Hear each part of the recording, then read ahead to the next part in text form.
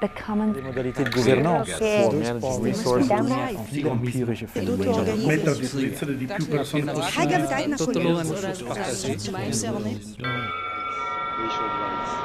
Well, the commons is an interesting aspect because they're talking about commonly protecting an environment or commonly protecting an area.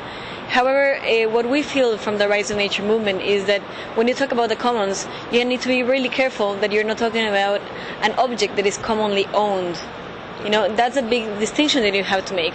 Because if you're only talking about doing the same thing that you're doing by as an individual, but then uh, noticing that it's something that eh, most people want and are interested, and it's commonly owned, then you're still in the logic that nature is an object, that nature is something that is a slave, that nature can be owned.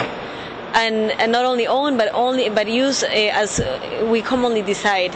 So I think that from the rights right-based perspective, we can use the commons and we can use the idea of like commonly protecting something if we recognize that it's not something that we own, but that we are part of it, that we are part of nature, and recognizing the right of that ecosystem, the right of nature to exist, and of course of uh, human beings to use it and to not to own it, but to use it, to take care of it, to protect it commonly.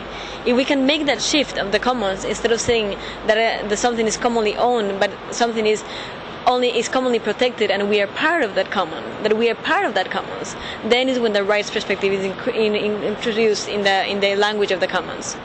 Well, I think the next steps there there are many many many next steps.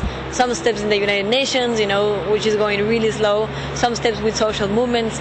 But I think that in the issue of the commons is that we need to realize that that's something that some social movements have been pushing forward, and it's a time to unite. We cannot do this by ourselves. We cannot do this separated.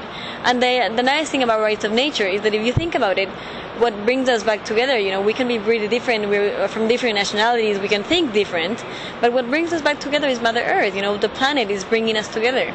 So if we are able to recognize that, recognize that recognizing rights of nature is something that can change a paradigm, then we can definitely work together on that. And when we think about the commons, and when, if we think about that we are in a common place, that we're home, and we're in one whole planet, then that idea can change. The next steps, working together with social movements, recognize that there's something intrinsic that that brings us together, and that's actually this this change of paradigm, that changes the relationship with with Mother Earth, with nature.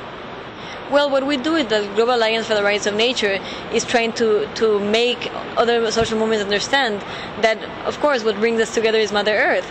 So if you, we use rights of nature as a tool that can uni- unify everybody, because if you're talking about women issues, or if you're talking about gender, if you're talking about agriculture, we're all drawn back to the earth. And the relationship with the earth that is the wrong part, is what's, what we've miss, been messing up. That's why we have a global crisis, not only economic crisis, but an environmental crisis, social crisis. If we realize that, then we can make a change. So my organization is trying to uh, acknowledge rights of nature, acknowledge the importance of rights of nature, and make sure people understand it, so that can be a reuniting force for social movements, and of course, hopefully, for governments to put this forward. But I, that's not going to happen if people are not united upon that.